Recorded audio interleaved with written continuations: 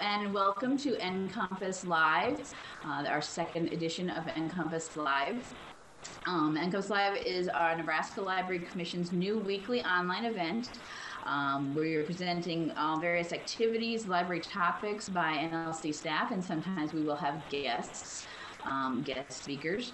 Um, the sessions are free every Wednesday, 10 a.m., and could have anything that we um, come up with, any but any presentations here, interviews, book reviews, tours, mini training sessions, and Q&A sessions similar to what we are doing today. Um, just to kick off our NCompass Live, we started last week and we're continuing this week with our Meet the NLC. Um, just getting to know some of the staff here, what we do, um, who we are, uh, what the commission can do for you. Um, last week we had four people from the commission, and this week we have four more. We were gonna we are going to have uh, Mary Jo Ryan, the communications coordinator, Richard Miller, our library development director, uh, and couple other people that will be coming on later. I'm sorry. Um, and we'll just get started and jump right into this right away. Um, starting off with Mary Jo. Hi, everybody. this is Mary Jo Ryan, and um, that's me. Uh, this is a pose I often strike. Uh, I'm actually showing off some ways to use return on investment information and communication pieces for your local library. And if you're wondering what that t shirt says, I can read it to you. I happen to have it right here. I spent the day at the library and I got books, magazines, newspapers, CDs, DVDs, audiobooks, research help, large type materials, free internet access, homework help, preschool story times, summer reading programs, full text databases, book discussions, interlibrary loans, computer help, podcasts of book talks, and more. And the reason why I wear that t shirt is because I'm always trying to remind people and remind myself to remind people just how important our local libraries are to us. And that's one of the things that the Library Commission is really dedicated to. Um, let me tell you a little bit about um, some of the people who work in communications. The next slide should be coming up. it's um, the ne- this is Catherine Brockmeyer. Catherine has recently joined us. Uh, she was with the Hastings Public Library, and we're so lucky to have her as our research analyst and special project associate. She works with us on communication pieces, doing some research and collecting information to help us develop those pieces. She also works with us on grants, and I'll talk more about grants in the future before this day is over. And um, and she works with our colleague, uh, the esteemed John Felton, who is the Director of Planning and Research and Statistics uh, for the Library Commission. They, they work on uh, quite a bit of information gathering. I'm sure you've gotten some surveys from them and information gathering tools. They'll be talking next week. Is that right, Krista? Yes. They'll be talking next week at NCompass Live in more detail about the Bibliostat Connect process.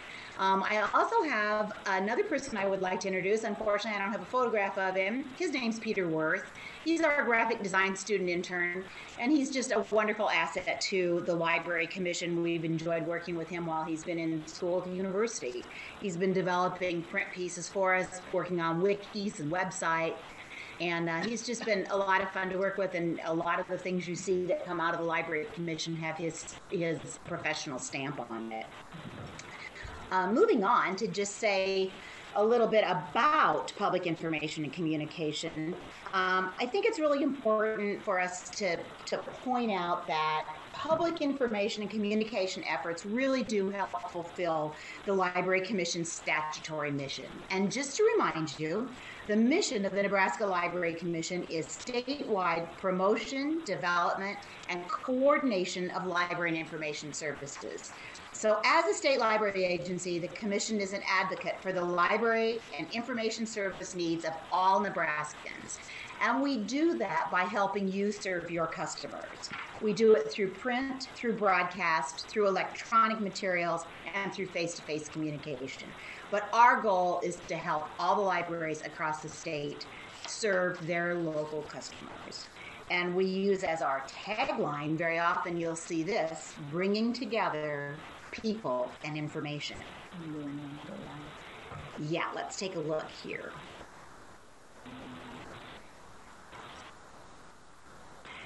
This is our website, and it's one of the tools we use to help you know more about what we're up to. Um, and these announcements are changed very regularly, and we keep them on until, say, for example, that grant opportunity that's the third one down.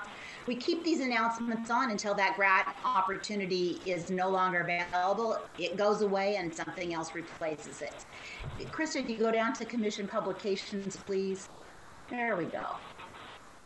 This is a, section of our website that's got a lot of information about our print publications. These print publications are really designed for specific target customers. Um, for example, the uh, first one there, if you click on that, this is the NLC Communicator. It comes out three or four times a year. It's got announcements, kind of timely information it's really designed for our Nebraska librarians and library staff in all kinds of libraries. The things that are in here are things that people who work in libraries would be most interested in. Uh, we do have other target customers, things, uh, people like state agency employees. Krista, if you don't mind going down a little bit on this page, we can find something that's specifically designed for a state agency. Or if you click on What's Up Doc, please. This is a, a, blog that we use to communicate with people who are working in state agencies or who are interested in state government information. So we have different kinds of communication pieces. Some of them are print, some of them are electronic. Um, another target group are Nebraska citizens specifically. They're they're a niche market for us because we don't really serve the general public, as it were. We serve groups of people who have specific information needs directly. Anyway, the people that we serve directly. That would be like customers who can't see to read or hold a book. We serve through our Talking Book and Braille service. And then if you want to click, I think it's up a little bit actually, what we're going to. That would be the interchange. There you are. And this has got a print version, audio version, uh, pod- podcast version, and archives of past in- issues on it. Again, this is a specific niche market, people who can't see to read or can't hold a book. Um, another group that we serve are intermediaries. And we consider those to be people from for the most part, statewide organizations that are intermediaries with our customers. And if you click on NCB News there, you can see this is the Nebraska Center for the Book newsletter. This goes out to individuals and organizations that have a particular interest in promoting reading. We work with the Center for the Book to put this newsletter together. And uh, happily, we support a lot of other projects in the Center for the Book, such as the Letters About Literature contest and several other things that we can talk about as we go along. Just to show again another one of our publications, the NCompass. This one comes out three or four times a year, and it also serves as our biannual report. And just for a hint, this is actually not printed yet. It's in the process of being printed at state printing, but you can get access to it right now. It's, it's up as soon as we've got it done, and sometimes state printing takes a little while. So if you need information, you can always keep a, a check on this, and you can also RSS feed this, this publication. So I think that probably gives you a pretty good idea about some of the print publications. And if you need more information, you can always go to this section of our website to find more about our print publications. Just to, to point out um, electronic communication, Oh, exhibit stuff is next. Never mind. Let's do exhibits next. And let's stay in order. Thank you, Krista. Krista's keeping me on track here, so I've got things in order. Oh, okay. So electronic information. If we go to um, to our our back to our front page, there we go. Or the publications. That's good. We do a lot of things through electronic medium. That's um, what I showed you before: the blogs, the wikis, the announcements that are on the website. But then to also go down a little bit further on the page, you can see another project that we have that's uh, more electronic, and that's the radio programming. We do a book talk radio show on Wednesday nights at 6:30 Central Time. It's available through 89.3 FM radio in Lincoln. It's also available on the kzum.org website. That's live streaming, live audio stream. And then we also have a podcast of many of the selected shows. We have a list of every show we've ever done. This is a project that we started in 1996 here at the Library Commission, and we started it in conjunction with the Lincoln City Libraries. And we've had a lot of fun doing this. There's been a, a history of a variety of book talkers, some from the Library Commission like uh, Sally Snyder's been involved from the very beginning. She's a library development staff person. Uh, Kit Keller, who was a former staff person here, is was involved and is still involved through KZUM Book Talk. Um, we've had a lot of fun with the people from Lincoln City Libraries. Carol Swanson has been involved, Lane Pierce. It's just been a, a, a really great partnership project, and we've sent out dozens and dozens of these tapes to local libraries who think they might want certified, then they need to earn 45 hours of CE credit during a three-year period in order to be recertified. Next on certification of public library boards, uh, Linda Jensen and I work on that, and in this case, boards must earn 20 hours of CE credit in a three-year period in order to be recertified.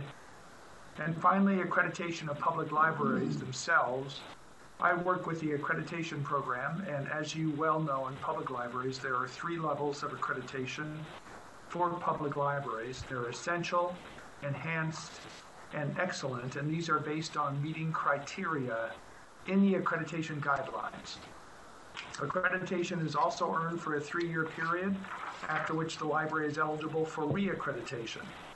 A public library has to be accredited in order to receive state aid to public libraries, and in order to apply for various grants the Commission makes available, and we'll discuss those grants briefly. Uh, just to let you know, on February the 18th, the NCompass Live session uh, will be on accreditation and certification, and Laura Johnson and I will be offering more in-depth information on those at that time. There are also three grants that the uh, library uh, offers, uh, the Nebraska Library Commission offers, and we handle those in library development. There are the youth grants for excellence, which Sally is involved with, and usually those grants are available annually in August, with applications due in October, and we normally have about $40,000 to distribute under those grants. Then we have continuing education and training grants, and Laura Johnson is involved with those. Those are usually available in May with the applications due in August. And we have about $25,000 for those grants. The library improvement grants, for which we have about $200,000 normally, are going to be handled by Richard and Sally this time, and these grants are available in October with applications which were due at the end of December. We're just now beginning the evaluation of those grants and you folks will hear about those by March 20th. We also deal with state aid in library development, and that's running a bit late this year. I'm responsible for that, and I'll be working on that in the near future. Just a little background on state aid.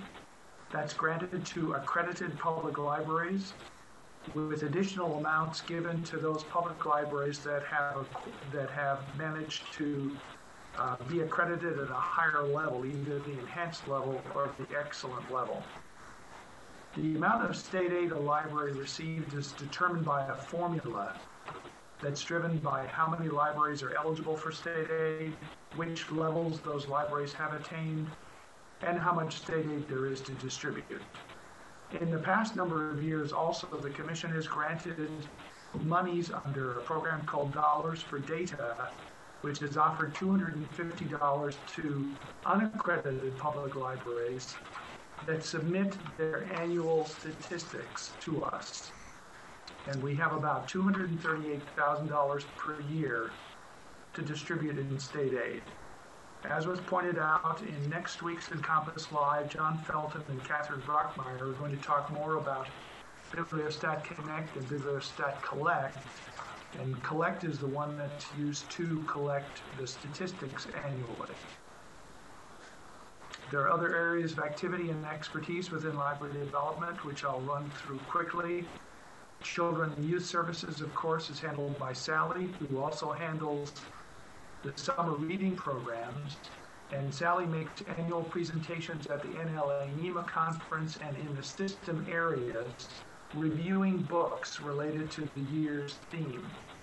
Just uh, by way of information for you, Sally is currently president of the 48 state consortium known as the CSLP, the Cooperative uh, Summer Library Program, that produces the annual program manual. We also are involved in library development with E-rate and technology planning, and that's an area I'm involved in. We consult with libraries doing E-rate, which is the federal telecommunications discount program. We offer annual training and we approve the technology plans required for a library to receive discounts on internet access. If you've got questions on library-related laws, I'm the person to call.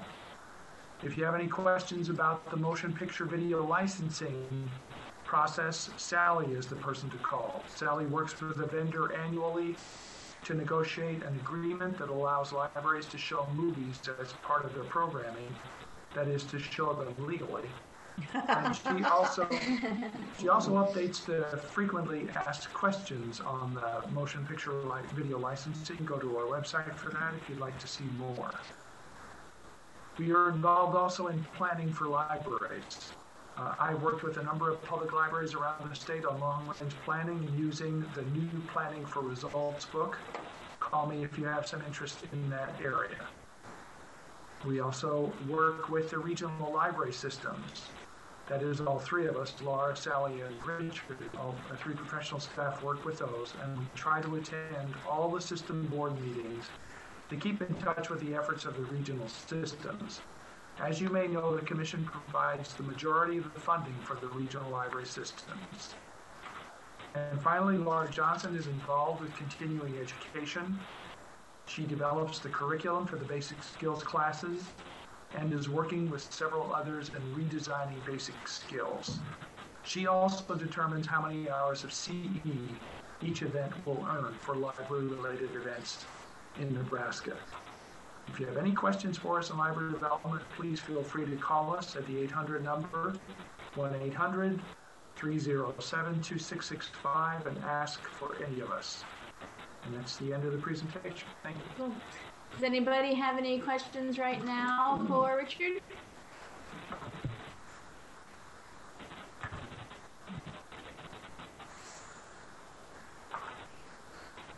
Okay, we'll move on to our next department then. We have Vern and Computer Services. Hi, I'm Vern Buis, Computer Services Director. I am the lead staff member on the computer team, which includes three other staff members. And I deliberately don't use the term supervisor because I really don't supervise, and I couldn't even if I needed to. I think of us as a team of peers, and I just happen to be the oldest. Speaking of old, I was shocked when doing the math that among the four of us on the team, we have more than 100 years of combined work at the Library Commission, which is pretty shocking. Um, Impressive. so, depending on how you look at it, we're either experienced and wise or a bunch of old geezers. experienced and wise. I like it. Our job is to manage the Commission's computer infrastructure, which includes workstations in the staff offices, public access workstations, servers, printers, wireless access points, laptops, and of course the network that ties it all together and also connects to the internet. And besides all the hardware, of course, there is software that needs to be installed, configured, maintained, and updated to keep everything working. I suspect that many of you out there viewing this webcast have the job of managing technology, but have to squeeze it in among other duties, which is not easy to do. Uh, when I first got involved in technology, I was in that position, so I really empathize with you who, who do have to juggle several different job titles.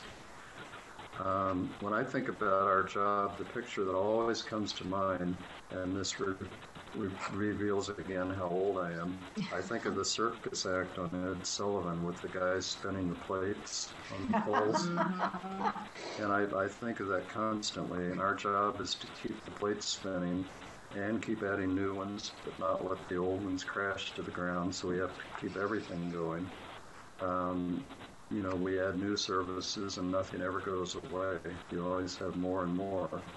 I'm sure most of you out there can identify with this, even if you're not involved in technology. I think it's just the way the world is these days. Uh, I want to. I mentioned that there are three other members on the computer team, and I want to real quickly go through, list them, and give you an idea of what they do. Dennis Klebe um, his primary responsibilities include backups and archiving, email management, purchasing, mailing lists, and hardware. And backups and archiving is really a huge job, and it's a thankless one, one that kind of nobody ever realizes is going on until something they lose something or something crashes. Mm-hmm. And we've put a lot of effort into backup and archiving, probably more than many organizations do. And sometimes it feels like you're doing a lot of work for nothing, kind of like buying expensive insurance that you can never use, mm-hmm. but you really don't want to go without that insurance. Um, he also manages our mailing lists, which include a whole a wide variety of lists like topic, including topical lists such, such as Child Live and others such as the system's mailing lists. Janet Greaser is really our, we think of her as our help desk person. She's the first point of contact when problems or questions come up. She's also the primary support for our Mandarin library automation system and has heavy involvement managing and maintaining the various NLC websites.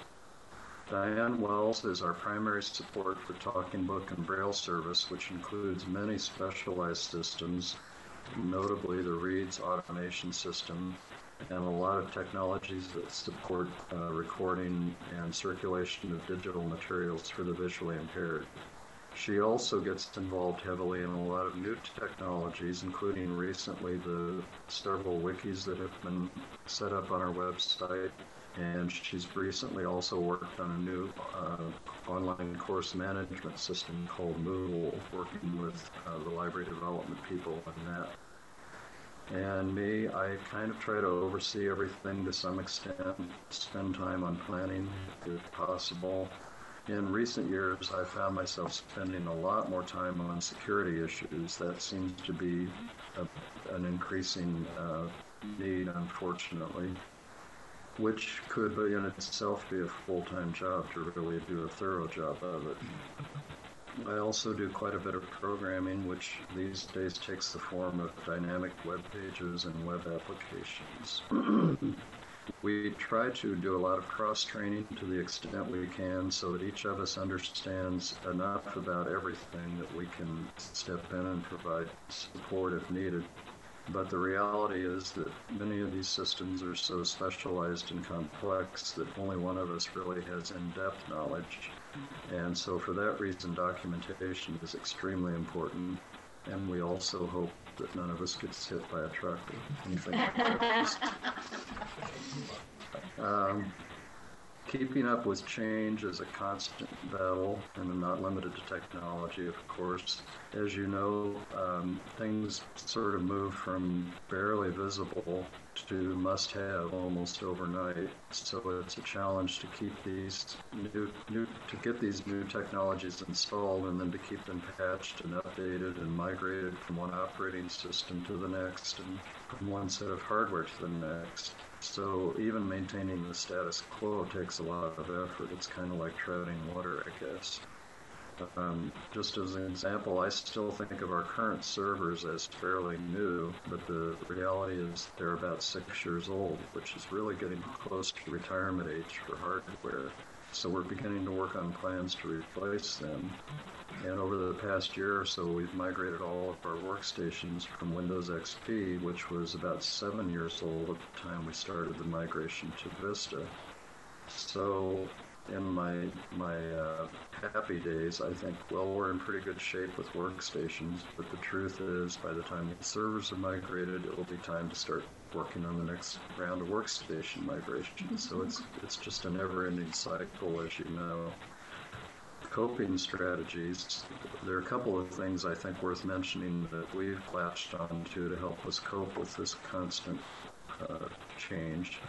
One of them is that we've developed hundreds of little programs, we kind of call them robots, just for lack of a better term, that during the night go out and perform all kinds of maintenance, things like backups and archiving, checking web links and reindexing databases, checking files, security, reading logs. The, the list is endless. And they do all that for us so that, number one, the things do get done. Um, and number two, we don't have to spend as much time doing it. But we've learned the hard way that you can't just trust that all of those things work every night. So we also have another series of programs that every morning give us a status report on all the things that happened overnight. And so we spend the first part of the day typically going out and looking at whatever problems occurred during the night and trying to fix them. Uh, another of the survival strategies that we've adopted several years ago was to try to simplify our environment as much as possible by standardizing on a single workstation platform and a single server platform. At one time, a few years ago, we were running two different versions of Unix, two different versions of Novell NetWare, and two different versions of Windows. As you can imagine, it's pretty challenging to keep up with all that, not only to keep up with patches and updates, but just to maintain fluency enough to, to get the job done in all those. So we made a deliberate, concerted effort to focus all of our efforts on a single platform to the extent that we could. And we ended up deciding to standardize on Windows, in part because many of the applications that we ran, including the TBBS read system, for example, were only available for Windows. And another factor is that we, as a library, are eligible for academic pricing on Microsoft products, which made the pricing very attractive. And I want to take a minute to just um, talk about the academic pricing. Um, Chris, if we could go to the slide or the website. Sure. Um, I want to note that this academic pricing is available to public academic and school libraries around the state, and it really is a huge discount. Um, if you do a search, I want to show people how to get to this. If you do a search on our site, and you could search for software as an example, you should the first link that comes up, computer purchasing recommendations. If we go there, at the bottom of that page is a link to SoftChoice, which is the reseller that manages the discounted pricing in Nebraska. And let's see, it's where it is. Up a little. There it is. Um, uh, just one more paragraph. There we go. The link right Just above up exit. above. Oh, this one? Yeah. Oh, okay. Um, you'll notice here the link and that you have to log in. The login information is provided here. The username is any and the password is select. Do we have to log in or no? No, Okay. we don't need to go to that. Um, so if you want to check out the academic pricing and what's available to you, this is a place you can get to it. And it's also linked from a few other places on our website. So I really encourage everybody to look at that. Um, just to give you an idea of how uh, how attractive the pricing is. I did a quick search last night and I found that the, the retail pricing through a standard vendor for Office 2007 Professional is about $450. But the academic pricing through, for libraries is $53. So it's about a 90% discount in many cases. It's really significant. So really don't want to, can't overemphasize that. Um, couple of final notes. I'm almost finished. Um, early, early as we were getting into technology, I remember distinctly for several years we had the goal of having a, a workstation for every staff member. And for many, many years, that was a distant dream that we, we hoped would happen someday, but we didn't know. And we've now, as I've looked at numbers, we've reached the point where we have numerically two workstations for every staff member. That counts that counts public access to computers and laptops and everything. But we've definitely come a long way in that regard. And another point that I think is worth noting is a trend recently is setting up dual monitors on workstations, which, when you think about it in a lot of ways, is almost like giving people two computers. So if you look at that, we're probably up to a three to one ratio now. Um, I also just wanted to note that many, many other staff commission are involved in managing technology and supporting technology. It's not just the computer team. So we by all means don't do it all. So there's lots of credit or, or blame to go around. um, and generally, I'd, I'd say if we're successful, we're pretty invisible, and I try to stay invisible and live behind the scenes. But when you hear the plates crashing, that's when you kind of know that we're here. That's a bad sign. So that's all I have to say. Okay. Thank you. Anybody have any questions for Vern about computers?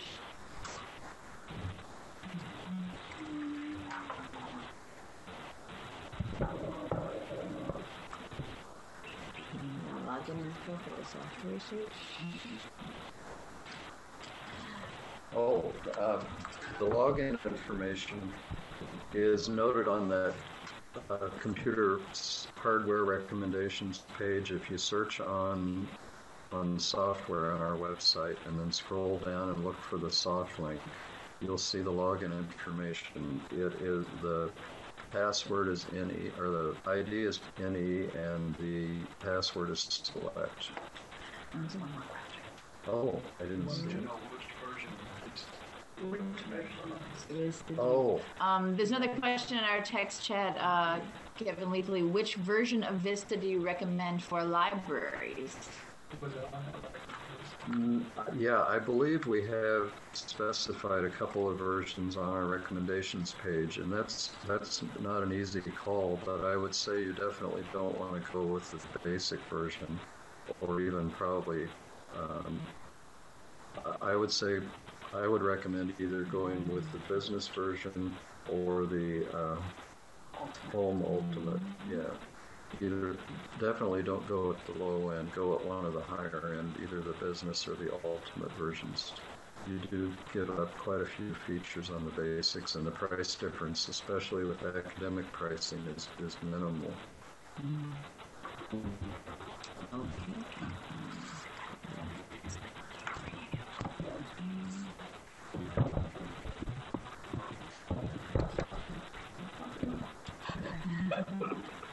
Were there any other questions for Vern? Okay, on to network services and Devra. Okay, um, I asked to go last so that I could use up any of the extra time that other people didn't use. and of course, they didn't leave me any extra time, so I will. It's late, so you can Yes. past the left. That's Okay. I, I will basically hit the high points. Um, I am Devra Dragos, the Network Services Director. Um, I have a number of staff in my department who do widely varying things. So I'm not going to go through each person one by one and tell you what they do because that would take half an hour right there. So I think what we'll do, Christa, if we could go, if you could do the app share. You want to know? Yeah, I'll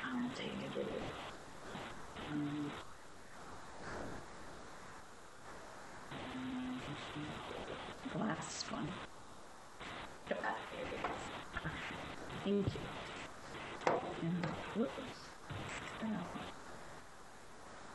Okay, I'm going to go to our um, network services page. This is Yeah, basic. Oops, and then I have to move over. This is where most of the information about what my department resides. Um, and we'll start off to begin with databases. One of the most important things that we do in our department is consortial purchasing, consortial any kind of thing that we can do to get libraries working together. Okay, so what we um, do for the main part is getting information through databases. Now, some of these databases we have actually purchased access to for all Nebraska residents, and they reside in the Nebraska Access site, which most of you are probably very familiar with. Um, Alana and Susan do database roadshows to teach people how to use the um, databases that are available, and we have several of them that cover general magazine articles, biographies, genealogy information, just things that a lot of our residents are looking for when they need information. Okay? Beyond the databases that we purchase for all of the residents in the state, we also do negotiating with vendors to get discount pricing for our libraries for specific databases. Now, um, the, we we you can see there's a very very long list. Um, but for a lot of these only one or two libraries actually subscribe. It varies widely by database. They do prefer that we do have one more than one library participating to get a discount. However, some of these are so unique that we have actually joined with other networks around the country to get discounts because we can pull in more libraries and get better better pricing. Okay. Um, we also do invoicing for a lot of these databases the vendors just find it easier, and our libraries find it easier just to get the billing from us too when we do make a group purchase. Okay. We also do database trials. If there are any databases that you are interested in looking at, maybe interested in purchasing, and you're wondering if there are other libraries out there who would join you in purchasing to bring the price down, all you need to do is contact us. You can call me or you can call Susan Knisely and we will contact the vendor and see if we can't set up a trial the trials are listed on our database trial page. We also send the information out on our trial mailing list. If you're not currently subscribed to the trial mailing list, I really recommend that you do subscribe. This is where we send out all the information about databases that we are looking to put groups together to purchase.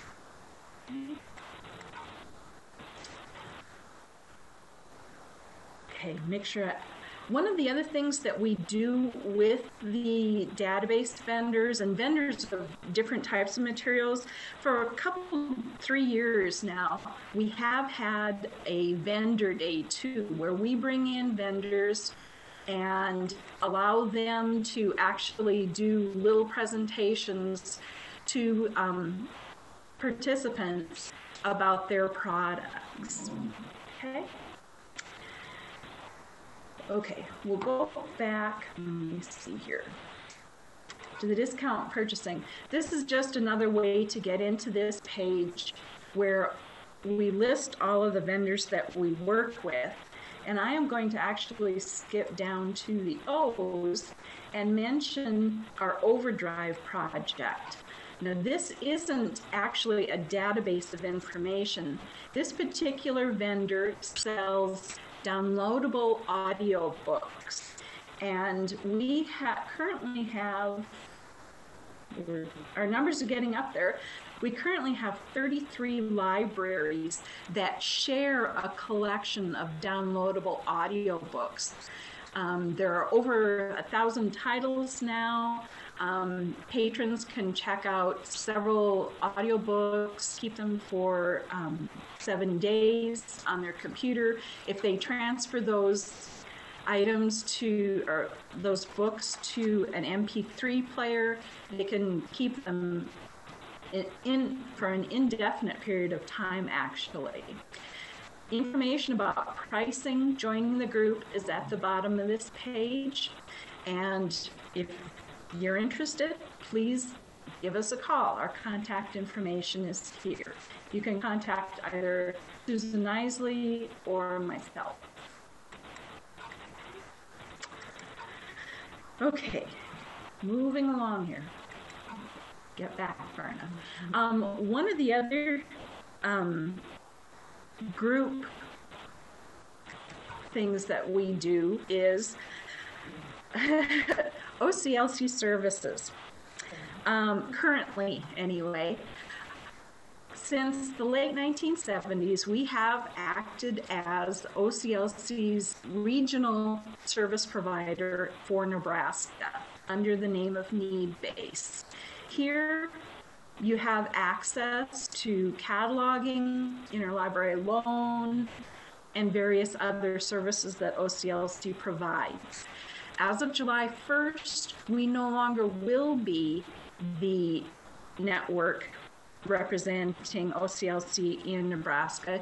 You will have to, at least to begin with, go directly to OCLC for um, the services that actually Christa currently provides, which are um, training, uh, support, um, questions about know, any any of the products that that OCLC sells. Okay.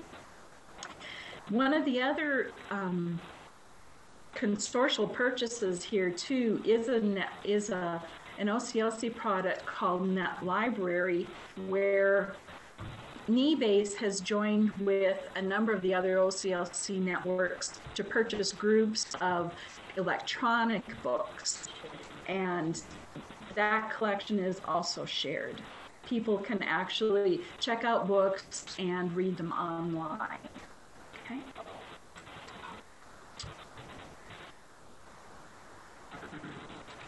One of our means of communication about the things that are going on in network services is our NCubed. Um, we use a blog uh, software, but we call it our our uh, newsletter for OCLC purposes.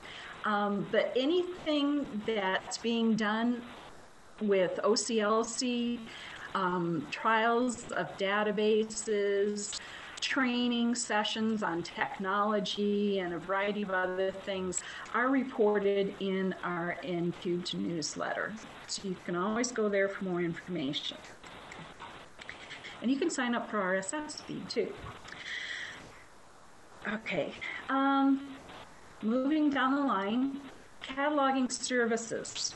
Emily Nimsakont is our cataloger. She started with us in October and she catalogs the collection collect, item, collection items that come into the commission which include federal depository materials, state depository materials, and just general reference material, most of which is library or technology related. Through the cataloging services, though, we also have a program that was started here a couple years ago called the Cataloging Certificate Program, where we recognize those people in technical services who take a, a specified number of our cataloging classes. And actually, the one that we have on the calendar that's coming up at the moment is Authority Control, which will be held March 19th in Omaha. But when you've completed um, enough classes, we actually hand out two levels of certificates. One is a basic certificate and one is an advanced certificate. Okay. Okay. Another group project that we're working on is an open source integrated library system. And Susan Knisely has put together a page for us where you can look at um, a number of sources related to products that are out there for automated systems. The two main ones, of course, being um, Evergreen and Koha. And there's also information about different training um, symposium sessions that we have done in the last year or two.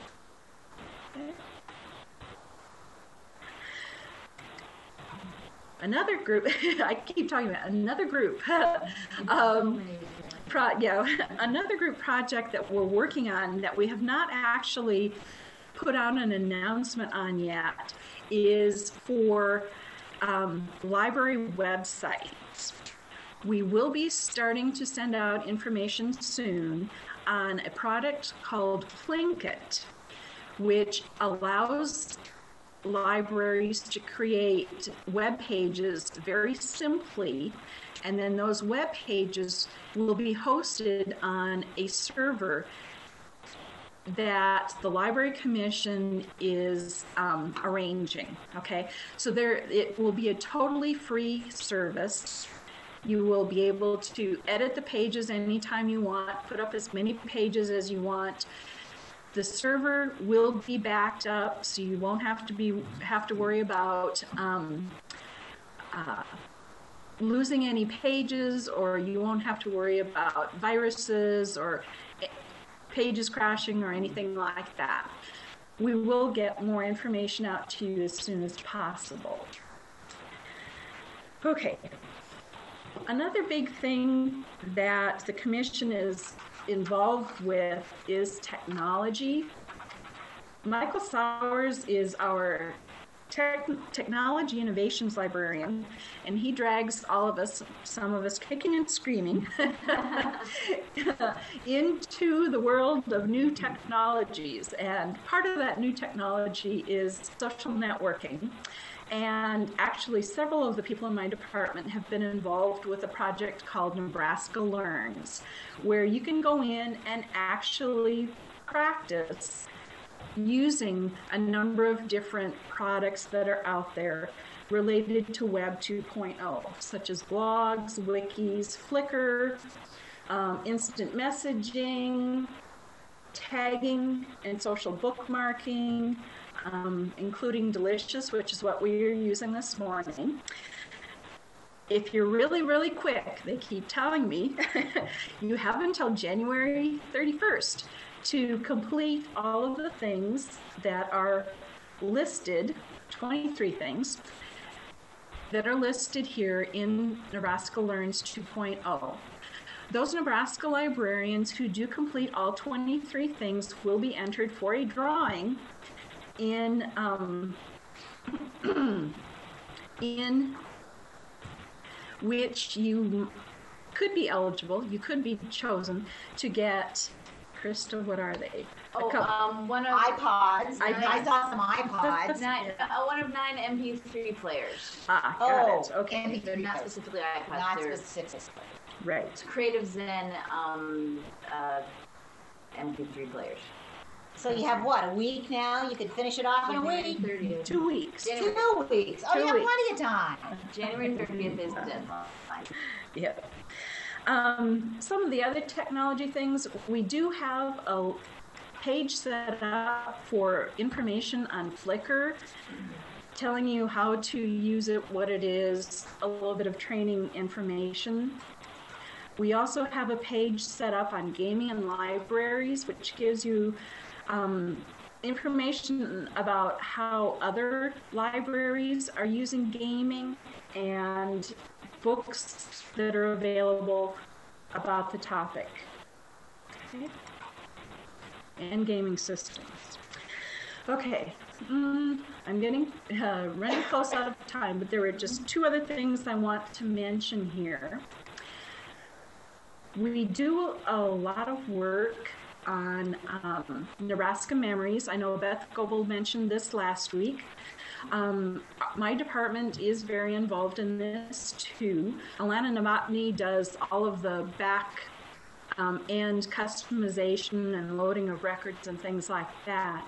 If anyone is interested in contributing a digitized um, collection to Nebraska Memories, this is the page that where you can find the information about how to become a participant. Okay. Um, one last comment about a project that we're working on. Christa Burns and I have been working on the latest Gates grant, um, the Opportunity Online Hardware Grant. So my department, as you can see, is involved in many, many, many different projects, um, and we just keep taking them on. So that's a quick overview of network services. Okay, thank you, Devra. Anybody have any questions for Devra about network services and all of the random things that we do there?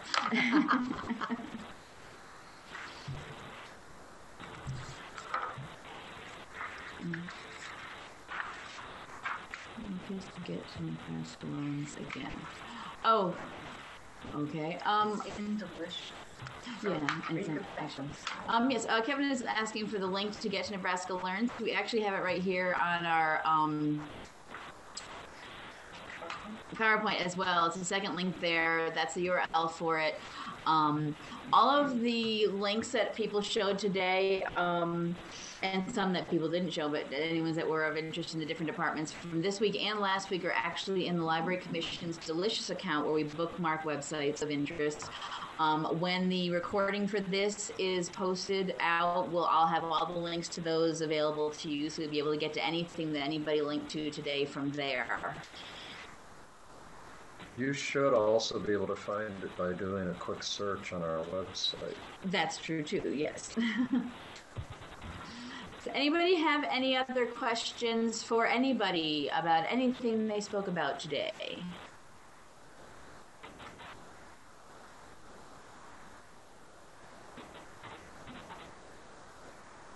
We're just so good.